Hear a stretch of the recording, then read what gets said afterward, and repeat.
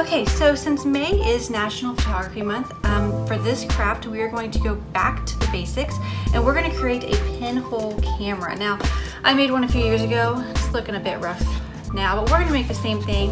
Um, I used, for this one, a Quaker oatmeal container. Um, today I'm going to use one of my empty breadcrumb containers, but you can use anything. Um, you can use a Pringles container, um, any kind of uh, cylinder container here.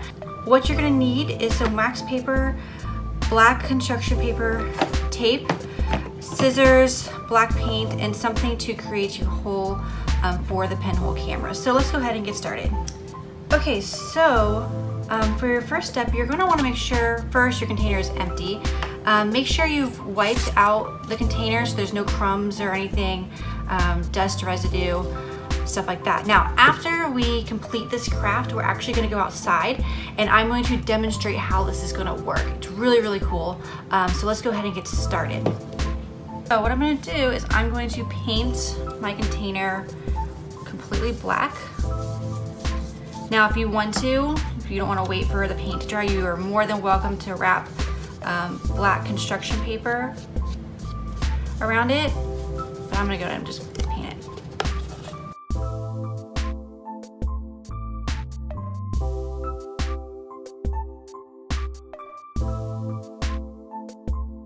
Okay, so if your container is taking a while to dry, you can use a hair dryer on low setting um, and use that to help it dry a little bit faster.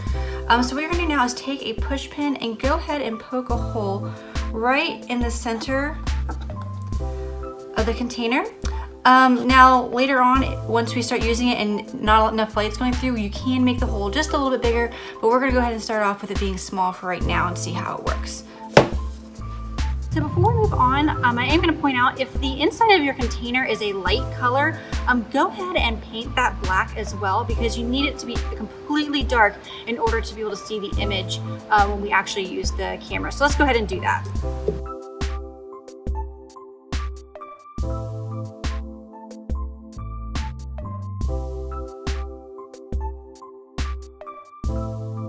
Okay, so now let's move on to our next step. Um, the inside does not need to be completely dry for us to finish this. So what we're gonna do now is take our wax paper and kind of measure it out, kind of eyeball it so you don't wanna touch it, you don't wanna paint on the wax paper.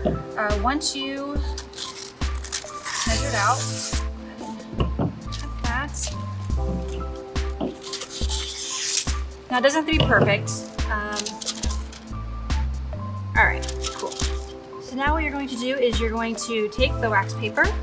Um, I'm gonna use a rubber band to hold this on here. So go ahead.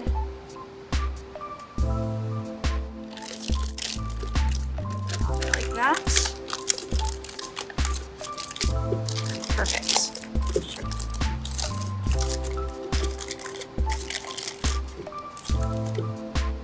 Okay, so once you have this on here, you can go ahead and just cut off some of this excess paper here.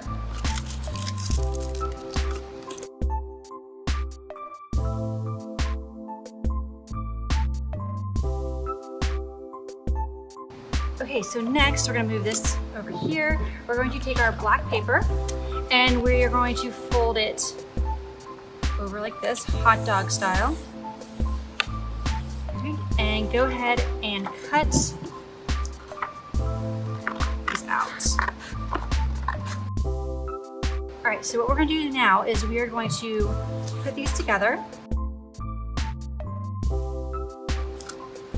Just wanna make sure that it fits around your container. So I'm gonna get my tape and I'm gonna tape these together here. And go ahead and tape the other side. All right, so next we are going to wrap this around the container. Um, you want to leave space here. This is gonna help when you're viewing the pinhole camera. It'll keep some of the light out. So let's go ahead and tape this down.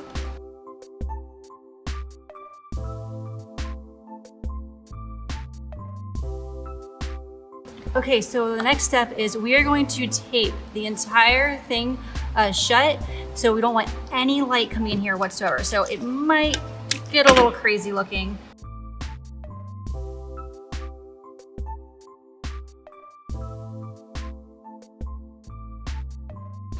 Make sure you get along the side too, any paper sticking up. Okay, so now that your camera is all nicely sealed up and there's no light getting in there, um, if your paper looks a little crazy, that's okay. It'll still work just fine. So let's go ahead and take this outside and see what we can see. All right, so now that our pinhole cameras are finished, we're going to demonstrate how this works.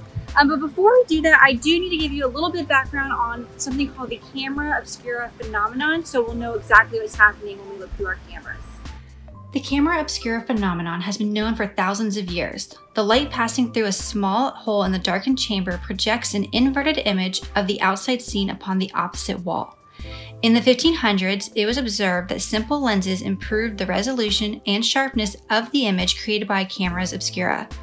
Introduced in the 1600s, portable reflex cameras obscura were used by artists as an aid to correctly render perspective, all photographic cameras descend from the camera obscura. The pinhole camera is also another really great way to teach children how their eyes work.